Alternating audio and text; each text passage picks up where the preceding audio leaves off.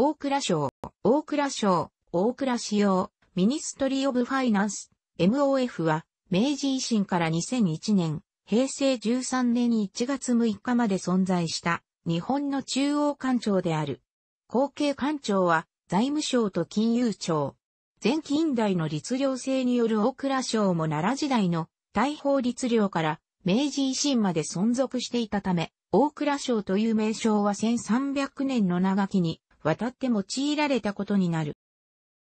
1868年、明治元年9 1月、朝廷に政府運営のための資金調達の機関として、金国水等所が設置された。名称が何回か変更されて、大乗官制が導入された時に会計官と名を改めた。この時期に大乗観察が発行された。水筒、秩録、造兵、永前を管轄することを目的に、1869年、明治2年9 8月に官録小生になったことを機に、大蔵省と改名された。9、9月、民部省と合併し、過去に例のない大型官庁となった。初代大蔵卿には松平義長が就任した。しかし、大蔵省の所管事項があまりにも広くなりすぎて、ずさんな地方行政が行われることを危惧した勢力との間で清掃が起こり、1870年、明治3年9、8月、民部省は再び分離された。だが、民部省に与えられた内政に関する権限が不十分であったことや、薩摩閥の大久保利道一派と長州閥の木戸、高吉一派との対立を避けるため、統合派管理の巻き返しによって、1871年、明治4年9、7月には、民部省は再度統合された、食産工業に関しては、明治3年10月20日に、工部省として民部省から独立した。最終的には、1873年、明治6年11月に、大久保利道の主導により、内務省が設置され、大蔵省から地方行財政や食産工業に関する組織と権限が内務省に移管された。また、1880年、明治13年には、公正な会計監査を求める他省の要求に応える形で、監査部門が独立して会計検査院が設置された。1885年、明治18年末に内閣制度が発足した時、初代大蔵大臣は松方正義であった。その後関西が整備され、歳入歳出、租税、国債、造幣、銀行を扱う官庁とされた。大蔵省は国家予算の配分、租税政策といった財政政策に関する実質的な決定権を有していることに加え、金融行政も担っており、その権限は強力であったが、戦前の官僚機構の中では、陸軍省、海軍省、地方行財政と警察行政を握って、絶大な権力を有していた内務省に次ぐ、四強の末席を占めていたに過ぎなかった。ただし、昭和10年代に主要閣僚会議としてご紹会議が設けられた際には、総理大臣、外務大臣、陸軍大臣、海軍大臣と並んで、大蔵大臣が入っている。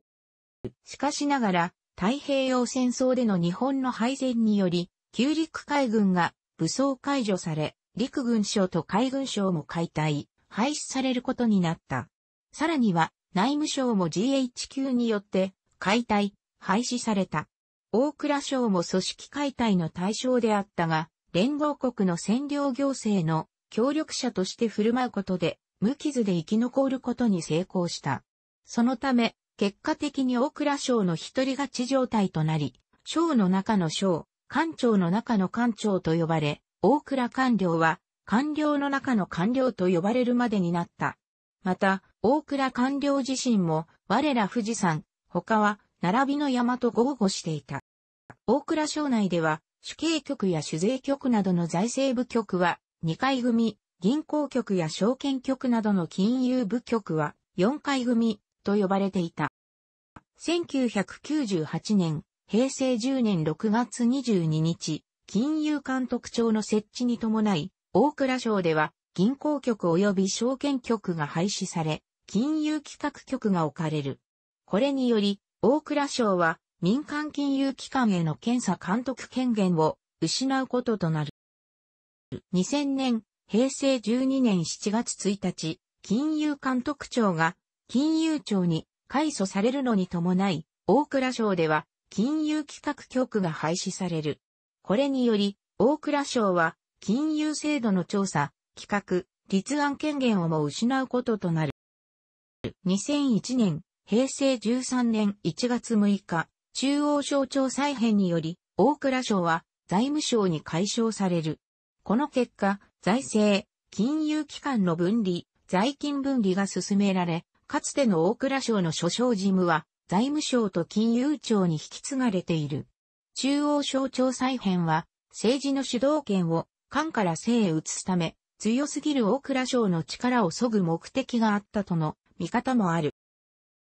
日本では大蔵省という名称が大法律令以来約1200年前から使われてきており、明治維新で復活してからもその名称は変わらず、再編時には長年使用されてきた名称の変更に反発する大蔵官僚の声も多く発せられた。これに対して橋本龍太郎は、では、ケビン市長を復活させるかと皮肉ったという。この件については、大蔵官僚以外でも、例えば元外交官、中隊大使の岡崎久彦のように、伝統ある大蔵省の名を財務省に変えたのは、官僚の指揮公用という国民の利益にとってマイナス効果しかない。こんな無意味な改革はいつか元に戻すべきと酷評する者もいた。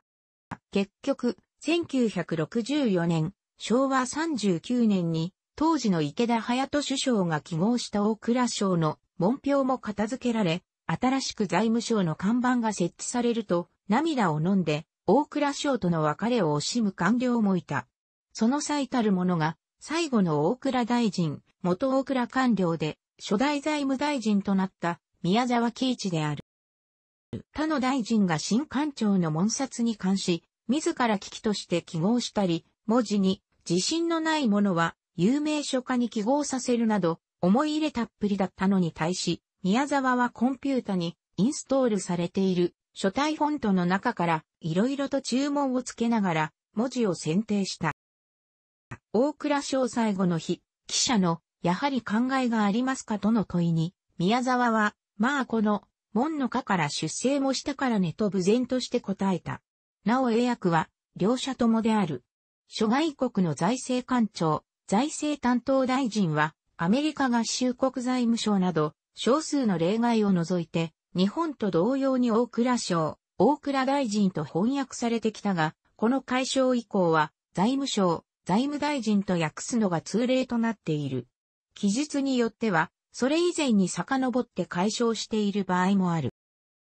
古代の大蔵省は律令制で規定された八章の一つ。和名は、大蔵の司。大上官の右弁官局の秘官。財政、特に水筒に関わる事務を行った。具体的には、大蔵と呼ばれる朝廷の倉庫を管轄し、朝廷の戦火、金銀、超、貢ぎ物の水筒、保管や諸国、民間の土量工や売買価格の工程などである。ただし租税などは民部省の管轄であり、国家財政官庁としての地位は、さほど高くはなく、国有財産の管理や官営工房としての役割が大きかった。しかし、匠領の成立とともに、官営工房部門の職称を奪われ大幅な再編を余儀なくされた。官下に5つの司を、後統配合されて、織部司一氏を所管し、職員は、教以下の四等官などがおり、タスク、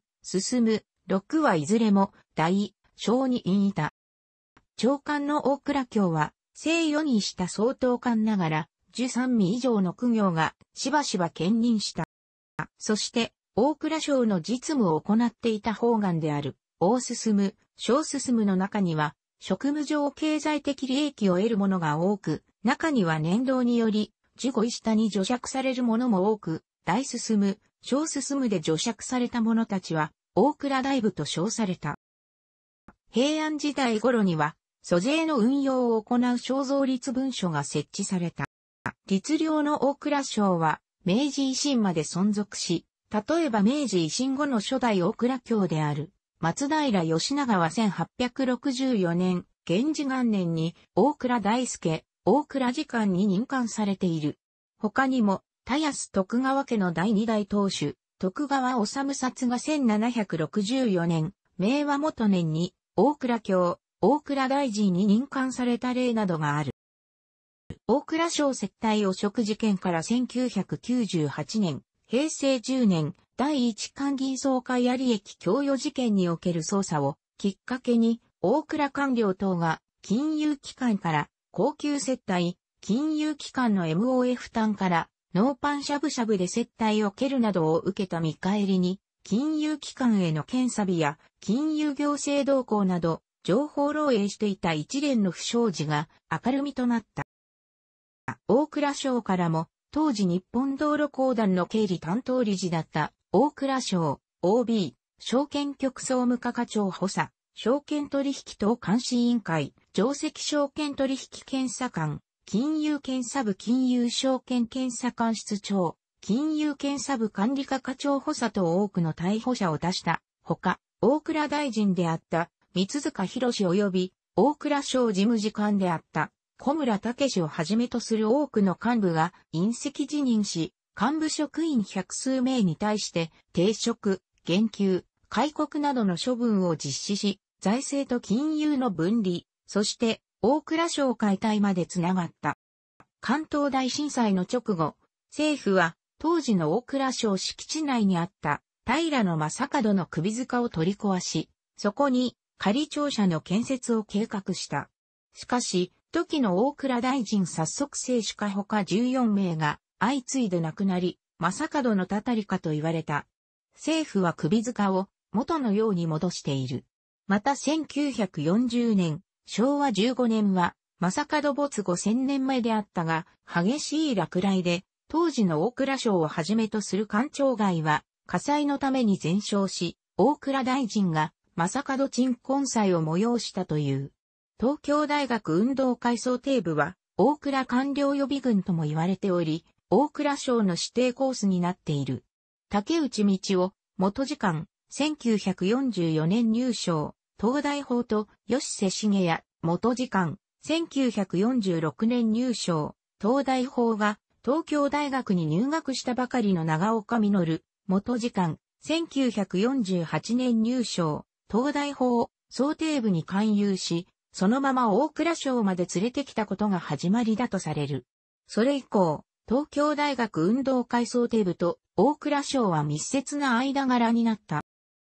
想定部に限らず大倉省は、東京大学の運動部で、キャプテンやマネージャーとして活躍した人間を好んで採用しているが、これは官僚という職業は国家試験をパスするだけでなく、文武両道の優れた人材でなければ務まらないという事情から来ている。また、運動部は組織で機能している点が役所の体質と酷似しており、組織のバランスを考えて行動できる人材を必要としてる大蔵省の要求にもかなっているからである。